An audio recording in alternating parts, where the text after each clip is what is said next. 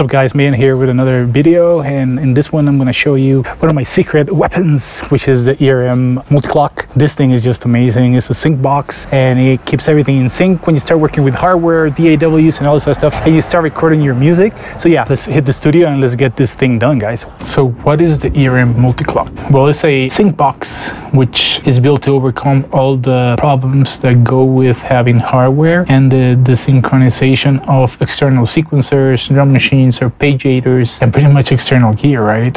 Or in my own words, is the box that will help you sync all your machines together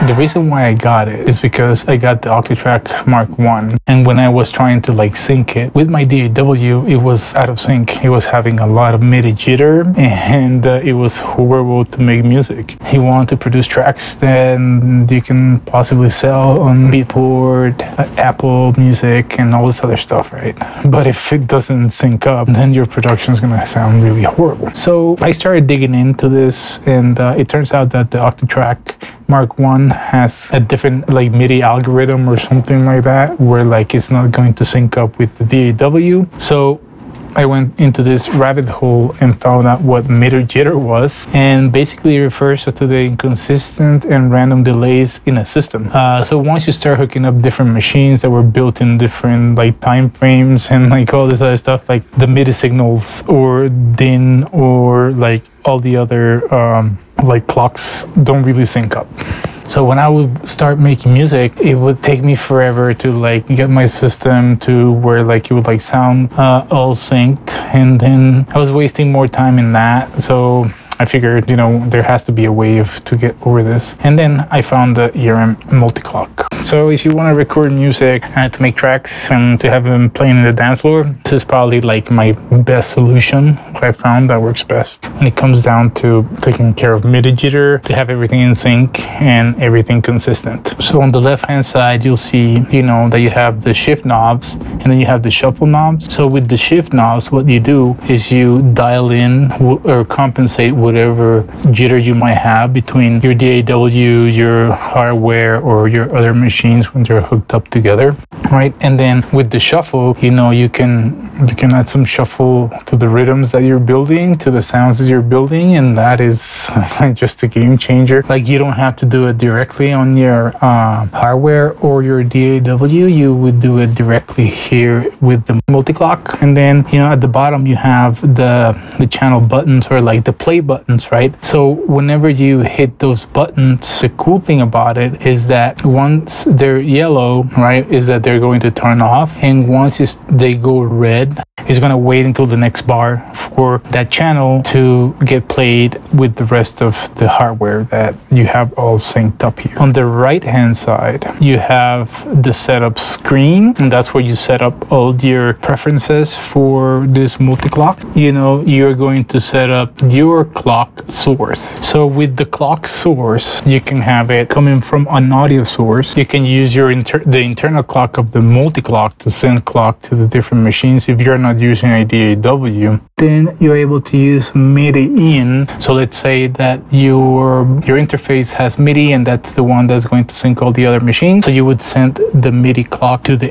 in of the multi-clock and that will like send the MIDI clock to the other machines. Interesting. And then you have the USB Be midi. This one's when you connect your computer through MIDI to the multi-clock and then that's going to send the signal of the clock of your machine to the multi-clock and that's going to get reproduced to the other machines that you have hooked up to the uh, multi-clock. And then you had DIN sync which is the same thing right? Like your external machines that had DIN sync they are the ones who are going to be sending the signal to the multi-clock are the ones that are going to be pretty much the masters of this setup. Okay so then you have your time signature. This is to be able to start slaves always in sync with the downbeat of the next bar right? So what i was talking about earlier where you know if you like hit the buttons right? Whenever the light turns red that's when they start going. So basically the time signature is going to tell all the other machines that are clocked with the multi-clock when to start. And then we go to the configuration. The MIDI mapper is when you where you set everything up for all your different machines. So the way that I have it set up for my system, channel 1 is actually channel 11 because that's the way that I have set up my Octatrack. My Octatrack sends MIDI out to the MIDI in of the multi-clock, which helps me use the MIDI sequencer of the Octatrack to help with the sequencing of the analog 4 that goes from channel 2 through 5. Then I have it set up for my Digitone, so you can like set it up on and on. Uh, like uh, then I have my Sub 37 and everything all rigged up here, which is really cool. So that's pretty much how to set up the multi-clock to work with uh, your setup. Then we'll go on how to like set it up with your DAW. So if you're new to my channel, hit the bell click subscribe so you can get my latest videos in your feed. All right, back to the video. I use Logic. So how you set it up is, you know, you get your plugin to your DAW, you put it into an empty track. Then the plugin interface, you set it up to uh, send the time signature. And then it's going to send the BPM that is being played. So it basically it will be like as if it was generating a kick, but it has like a different sound to it. And that's going to help us sync all the other machines through audio. So if there's like a tiny change in the BPM from the DAW or from the machines are going to get triggered as well. So like everything matches up really, really well and nice. So again, you can sync it up with your uh, interface. So you assign an output that's going to go to an output on the back of your interface.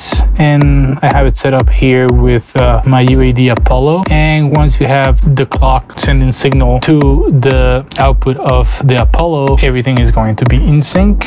And that's pretty much how you set it up with a DAW. Then let me show you how it sounds and how I have it set up with, with some synthesizers. I'm going to use my Octatrack and then I'm going to use the Digitone just real quick. Let me set it up. Right now I'm going to be controlling the Digitone and all the signals are going to go through a multi-clock and everything is going to be synced to my DAW. The DAW is going to have the kick and it's going to be the one guiding the sounds that are going to be like generated through the MIDI tracks of the Octatrack to the Digitone and the Digitone is going to be the one who's going to be sending the, the sound out of the of the machines that are going to be played and then we'll record it and I'll show you how in sync everything is. So pretty much I'm going to start with a really basic basic arpeggio and then I'm gonna switch it up here on the Octatrack.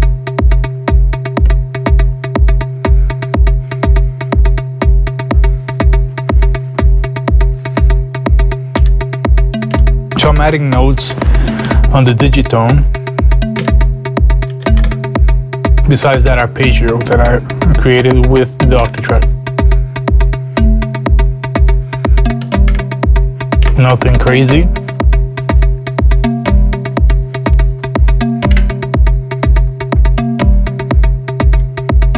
But the cool thing is that the kick is coming from the DAW. So now I'm going to stop it with my phone so you can see that I'm controlling the DAW with my phone. And then I'm going to play it with my phone again.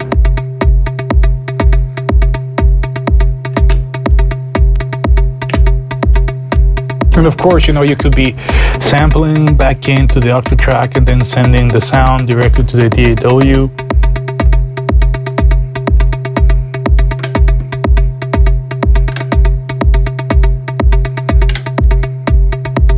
At this point, only so so the patterns were recorded directly to the digitone. So you can mangle that. But everything is in sync with the kick coming from the DAW.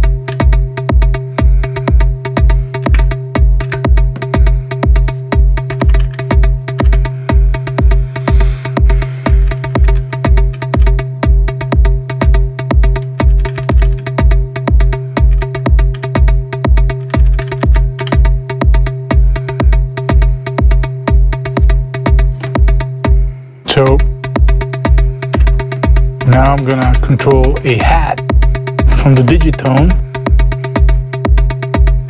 Let me find a hat here. So the idea is for me to like write the hats with the Octatrack. So I'm also going to be using like two different ways of like generating the hats.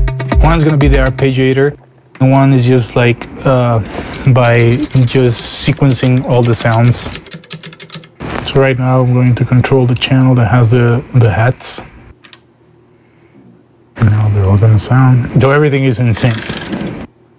Before, this would be like the kick wouldn't sound the same with the rest of the of the machines when I was like doing it directly. So yeah, it, it was just a mess.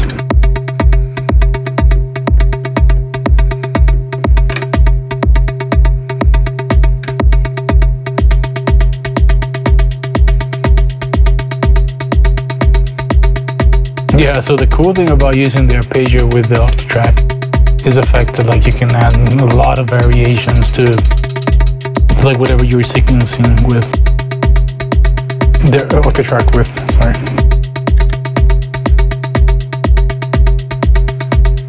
I love the the arpeggiator from the Octatrack. The sequencer and everything is just amazing.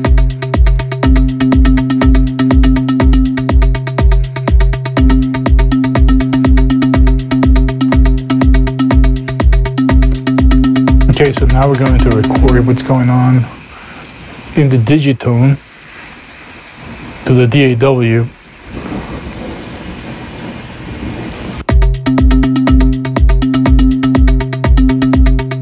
So you guys can see that everything is in sync. And I'm going to turn the other ones off just so you guys can see that everything is in sync.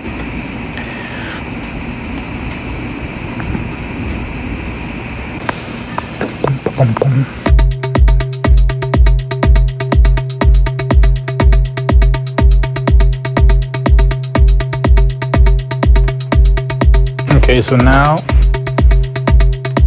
I'm just gonna let this one sound, the one that we just recorded, so you guys can hear that everything was recorded. Nothing is getting played to the Octatrack or the Digitone because the sound coming from the, the plugin from the multi-clock is not playing.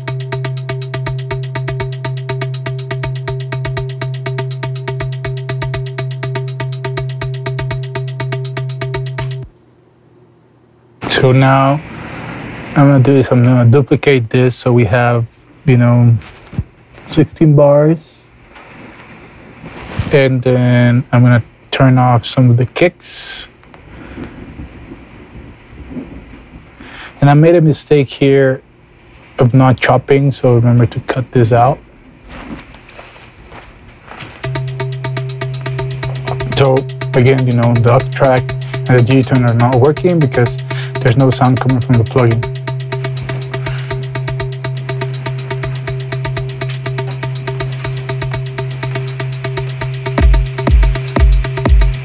So it's pretty unique way of working. I think that, um, to be honest with you guys, if you're getting a little bit tired of uh, having things not like line up properly, this is the way to go. It is a little bit expensive. Uh, I'm sure that there's some other options out there. I think that um, Roland has one, and I think that uh, there's a, there's another company that has something similar to this. Um, it is worth the money if you're working with uh, a lot of hardware just to have everything, you know, like matching up. So when you jam, you record, everything is sound sounds good.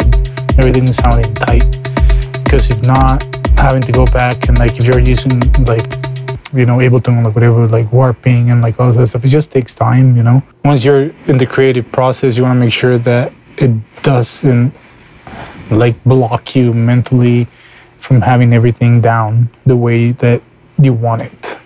You know like uh, it's it's crazy the little things that will make you become a little bit more creative but i think this is one of those things that I would recommend you guys have in your arsenal um, or find something similar, you know.